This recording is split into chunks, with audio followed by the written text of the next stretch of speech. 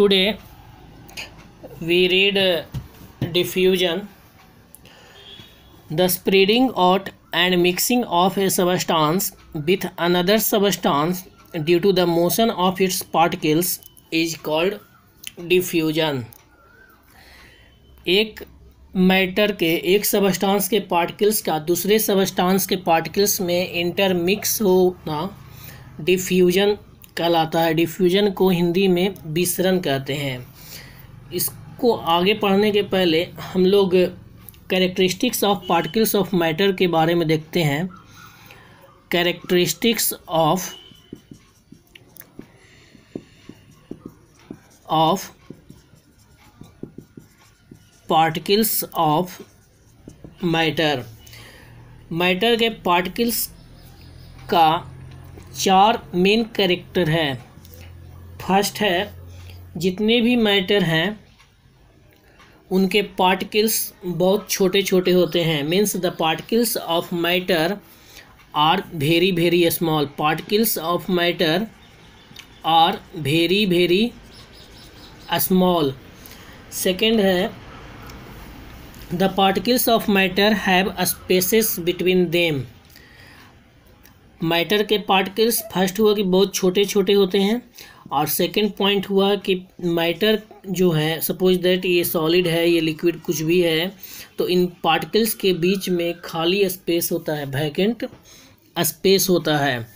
Third point है the particles of matter are constantly moving ये जो पार्टिकल्स हैं, ये हमेशा मोशन में रहते हैं। एंड फोर्थ पॉइंट इज़ ये जो पार्टिकल है, एक दूसरे को अट्रैक्ट करते हैं। The particles of matter attract each other इन चारों पॉइंट को एग्ज़ाम्पल के थ्रू समझते हैं।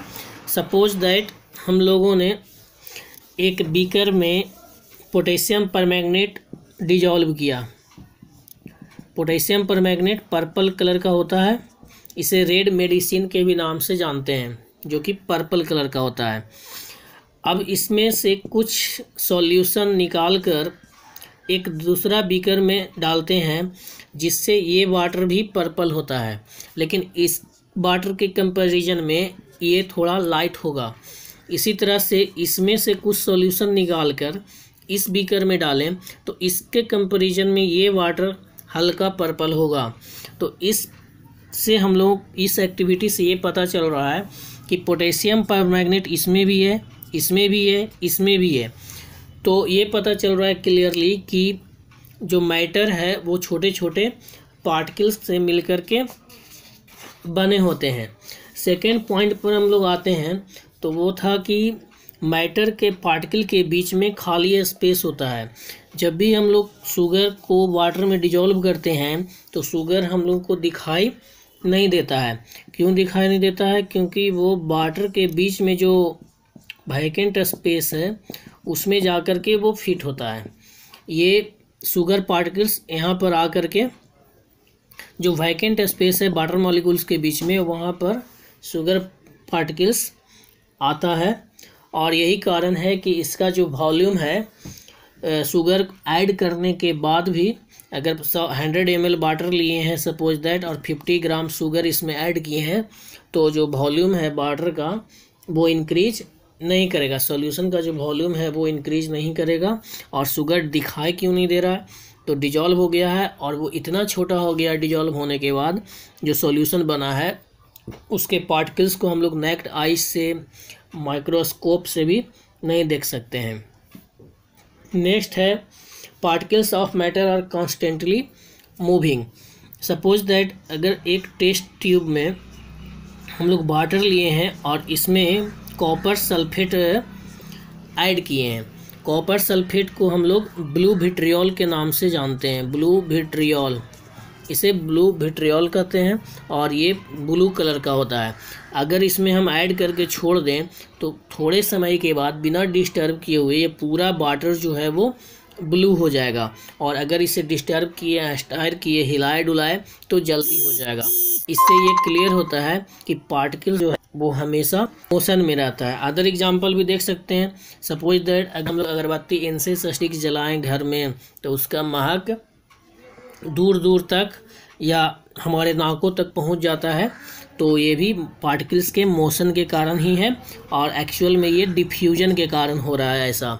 एक पार्टिकल्स जो इंस्टेंस स्टिक्स का जो पार्टिकल्स है, वो एयर पार्टिकल्स के साथ इंटरमिक्स होकर के हमारे नाक तक पहुँच रहा है।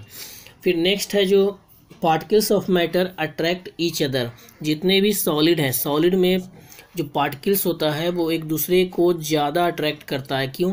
क्योंकि इसके बीच का जो खाली स्थान है वैकेंट स्पेस वो मिनिमम होता है। इससे ज़्यादा लिक्विड में होता है और लिक्विड से ज़्यादा गैस में वैकेंट स्पेस होता है। तो पार्टिकल्स जितना क्लोज होगा, उसके बीच फोर्स ऑफ़ अट्रैक्शन उतना ही अधिक होगा। ये सपोज़ दैट सॉलिड है। ये लिक्विड है और ये गैस है। तो ये सॉलिड के पार्टिकल्स हैं, ये लिक्विड के हैं और ये गैस के हैं।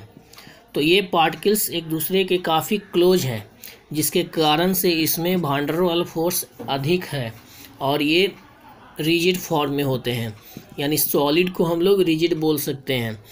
इसमें देख रहे हैं लिक्विड में कि वाटर मॉलिक्यूल्स के बीच या लिक्विड मटेरियल के बीच जो मॉलिक्यूल्स है, उसके बीच वैकेंट स्पेस ज़्यादा है और इसलिए लिक्विड जो है वो फ्लूइड है, इसमें बहने का गुण होता है। गैस में देख रहे हैं कि दो पार्टिकल्स के बीच और ज़्यादा अधिक गैप है स्पेस है, इसमें फोर्स ऑफ़ अट्रैक्शन कम है तो ये और अधिक फ्लूड करेगा। यानी सॉलिड को हम लोग रिजिड के कैटेगरी में रखेंगे और लिक्विड और गैस को फ्लूड की कैटेगरी में रखेंगे। और इस तरह से पार्टिकल्स को भी देख लिए हम लोगों ने कि सॉलिड के पार्टिकल्स क्लोजली पैक्ड होते हैं लिक्विड में सॉलिड से थोड़ा ज़्यादा दूर होते हैं और गैस में काफ़ी दूर दूर होते हैं। तो डिफ्यूजन जो है, क्योंकि पार्टिकल्स में मूवमेंट सबसे कम सॉलिड में होता है, इसके पार्टिकल्स अपने मीन पोजीशन पर वाइब्रेट करते हैं। इसलिए इसमें डिफ्यूजन सबसे कम होता है, यानी रेट ऑफ़ डिफ्यूजन सॉलिड में सबसे कम होगा, सबसे ज़्यादा डिफ्यूजन गैस में होगा, उससे कम लिक्विड में होगा। और रेट ऑफ़ डिफ्यूजन जो है, वो पार्टिकल्स का, ये मैटर का टेम्परेचर बढ़ाने के साथ हीट अगर देंगे टेम्परेचर चेंज होगा इंक्रीज होगा तो पार्टिकल्स में मोशन इंक्रीज करेगा। यानी कि जैसे जैसे टेम्परेचर इंक्रीज करते जाएँगे पार्टिकल्स के मॉलिक्यूल्स का स्पीड भी जो है मोशन जो है, वो बढ़ता जाएगा और टेम्परेचर डिक्रीज करेंगे। तो मोशन घटते जाएगा, यानी रेट ऑफ़ डिफ्यूजन जो है, वो टेम्परेचर बढ़ाने के साथ साथ बढ़ता है। इसलिए हम लोग के किचन में जो खाना बनता है, उसका महक दूर से ही पता चल जाता है। लेकिन अगर कोई बच्चा लंच बॉक्स में लंच लेकर स्कूल गया है और अगर उसका ढक्कन भी खोल देता है, जो कि क्योंकि वो ठंडा हो चुका है तो उसका महक पूरे क्लास में नहीं जा पाता है, क्योंकि टेम्परेचर वहाँ पर कम है। इसलिए उसका जो पार्टिकल्स का मोशन है, वो घट जाता है। यानी रेट ऑफ़ डिफ्यूजन जो है डिफ्यूजन जो है, वो टेम्परेचर के साथ इंक्रीज करेगा। Rise in temperature then diffusion भी बढ़ेगा। इसको ऐसे भी लिख सकते हैं इंक्रीज द टेम्परेचर और increase the rate of diffusion हमारे घर में जो एलपीजी गैस होता है अगर वो लीकेज करता है तो डिफ्यूजन के कारण ही उसका स्मेल हम लोगों के नाक तक पहुँच पाता है। डिफ्यूजन के कारण ही गर्म खाने की महक हम लोगों के तक पहुँच पाती है।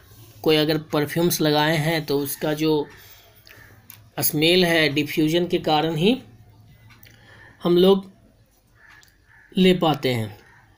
इस तरह से डिफ्यूजन हम लोगों ने देखा और इसी पर एक बेस्ड है ब्राउनियन मोशन ब्राउनियन मोशन जो है, सबसे पहले 1827 में रॉबर्ट ब्राउन ने बताया था इसके बारे में।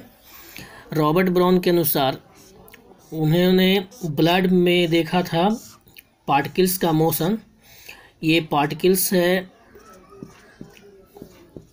जिसका मोशन कुछ इस तरह से है, जिगजैग टाइप में रहता है, जिगजैग मोशन तो इस तरह के जो मोशन होते हैं मटेरियल में मैटर में, सबसे पहले रॉबर्ट ब्राउन ने इसे देखा था 1827 में। उन्हीं के नाम पर इसे ब्राउनियन मोशन नाम रखा गया। और डिफ्यूजन और ब्राउनियन मोशन दोनों से हमें नेचर ऑफ़ मैटर पता चलता है कि जो फ़र्स्ट है, अगर एग्ज़ाम में क्वेश्चन रहे कि ब्राउनियन मोशन और डिफ्यूजन पर बेस्ड मैटर का टू कंक्लूजन्स लिखें तो उसके आधार पर हम लोग बता सकते हैं on the basis of Brownian motion और एंड डिफ्यूजन कि matter is made up of tiny particles matter जो हैं, वो छोटे छोटे पार्टिकल से मिलकर के बने होते हैं। और सेकंड पॉइंट बता सकते हैं, कि the particles of matter are constantly moving matter के जो पार्टिकल्स हैं, वो हमेशा मोशन में रहते हैं। ये दो पॉइंट जो हम लोगों को पता चलता है डिफ्यूजन से और ब्राउनियन मोशन से पता चलता है।